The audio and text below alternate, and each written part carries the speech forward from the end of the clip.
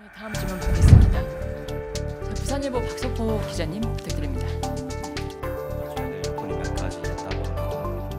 그래서 지금 국민들이 TV를 통해서 해견을 지켜보는 국민들이 과연 대통령께서 무엇에 대해서 우리에게 사과를 했는지 어리둥절할 것 같습니다. 여기에 대해서 보충 설명해 주실 수 있으신지요? 어, 저는 이렇게 생각합니다.